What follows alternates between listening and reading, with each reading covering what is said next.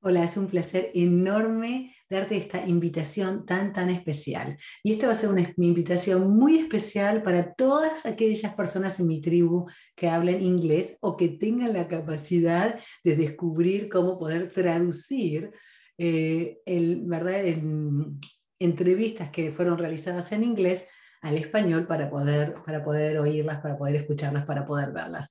Quiero contarte que una queridísima colega y amiga que tiene realmente una divinidad interior increíble, me ha invitado a participar, ¿verdad? Como en, su conferencia virtual que se llama La diosa interior, The Inner Goddess. Y realmente me, fue un honor increíble que ella me, digo, me dijo, ¿verdad? Laura, quiero que participes porque yo desde que te he conocido, que esto ya hace wow, casi 10 años, eh, decía, realmente he notado que tú de alguna manera has conectado con esa esencia, ¿verdad? Esa diosa interior dentro de ti y la has estado compartiendo con el mundo y realmente quiero saber cómo lo has hecho. Lo que quiero contarte es que en esta entrevista he hecho algo que no hice nunca porque generalmente me preguntan muchísimo sobre ¿verdad? mi carrera, mi profesión, cómo he desarrollado mi coaching, de qué forma he descubierto estos contratos subconscientes, cómo lo conecto con lo que son ¿verdad? chakras y los perfiles del alma, el propósito de vida, la abundancia, la riqueza a todo nivel. ¿De qué forma, verdad? Y esta vez fue una, una charla, realmente una entrevista increíblemente personal, donde llegamos a hablar de temas muy, muy importantes, increíblemente trascendentales en mi vida, los momentos que fueron pivots en mi vida, que fueron momentos bisagras donde algo realmente cambió de una manera muy drástica. Eh, compartí con ella el momento donde perdí mi conexión con esa esencia, con esa diosa interior, con esa pasión, con esa energía, ¿verdad? Y una de las cosas que mencioné cuando ella me preguntó de qué, qué, es, cuál, ¿verdad? ¿Qué es para mí esa, esa inner goddess, ¿verdad? O esa diosa interior. Y yo dije que realmente eh, para mí es una cualidad que todos los seres humanos tenemos. Tiene que ver con nuestra esencia. Y nuestra esencia es amor.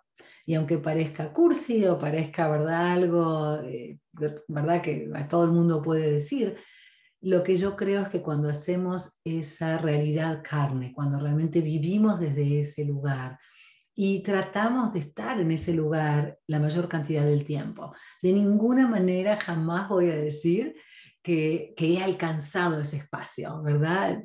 Para nada. En momentos, sí, definitivamente. Y cada vez los momentos donde no estoy en ese espacio son más son menores, son más reducidos. El tiempo que estoy en ese lugar de no estar conectada con mi esencia, con lo que es importante para mí y con el amor, porque siento que verdaderamente esa es la esencia de esta divinidad femenina que todos tenemos, absolutamente todos, todas, todes tenemos, ¿verdad? Siento que realmente todo ser humano, toda persona que desea conectar con la divinidad interior que está conectado con la femenidad, es extremadamente posible, increíblemente importante, fundamentalmente poderoso y es esa energía, esa energía de increíble conexión. Por eso es que la llamo amor, conexión primariamente con nosotros, con quienes somos, con nuestra verdad y desde ese lugar compartirla, ¿verdad? Compartirla a nuestros seres queridos, compartirla a las personas con las personas que trabajamos, pero fundamentalmente compartirla con nosotros, porque realmente considero que cuando compartimos con nosotros lo mejor de nosotros, verdaderamente comenzamos a convertirnos en la mejor versión de nosotros. Y hay una pequeña historia que he compartido en la entrevista que me, va a encantar saber qué te parece. Será maravilloso ver si, si de alguna forma quiero, quiero que me cuentes. Si no tienes inglés, no tienes la menor idea cómo poder acceder a, estas maravillosas entrevistas y a mi entrevista en particular eh, en inglés, que si no puedes oír, déjanos saber. Vamos a ver cómo puedo hacer para poder traducirla, aunque sea con subtítulos, ¿verdad? En español, porque realmente eh, compartí cosas increíblemente personales que me gustaría compartir contigo. Es una de esas cosas que por un lado fue un poco complejo, difícil, ¿verdad? Y aquí estoy, eh, como tú sabes, compartiendo algo muy personal, que es el, el preguntar cuándo fue que perdí la conexión conmigo y hablé de momentos en mi vida, incluso momentos que he trabajado mucho y por eso puedo decirlo eh, con cierta tranquilidad, vamos a decir así, porque he hecho las paces conmigo, pero durante mucho tiempo eran, fueron eventos en mi vida donde tomé decisiones basadas en miedo y no realmente en amor, ¿verdad? Y son dos energías que no son compatibles. Por eso es que me parece tan maravilloso que hemos estado hablando, he estado hablándote del miedo, de lo importante que es el miedo. Y sin embargo, quiero contarte hoy que cuando actuamos desde un lugar de miedo, estamos desconectándonos del amor.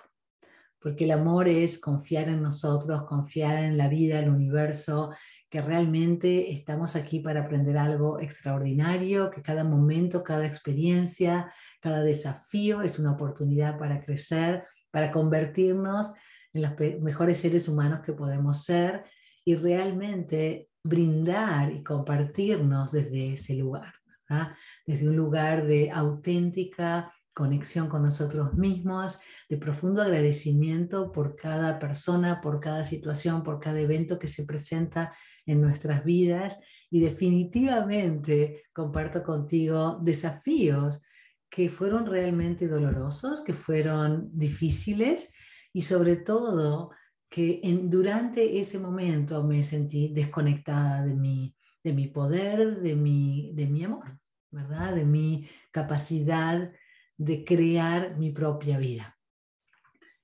Y esos son los momentos, al menos en mi vida, el momento de desconexión de mí misma, de esa esencia extraordinaria que es ese poder del amor dentro de nosotros, esa diosa interior, ¿verdad? Es, es tan profundamente em, movilizador, muchas veces doloroso, triste y, y realmente a veces puede ocasionar culpa, puede ocasionar rencor hacia la situación que estamos viviendo, pero fundamentalmente quiero contarte que es increíblemente poderoso reconectar con, con esa llama, ¿verdad? Es como, yo recuerdo, no sé cómo funcionan hoy en día los, los hornos, pero recuerdo tan claramente que en, la casa en donde me crié, la cocina, el horno de la cocina tenía el piloto encendido. Estaba siempre esa llamita, ¿verdad?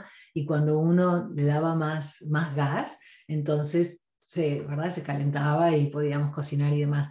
Pero esa llama, le llamamos piloto, y, esa llama piloto, vamos a llamarla así, es, ese, es la llama que está siempre viva dentro de nosotros.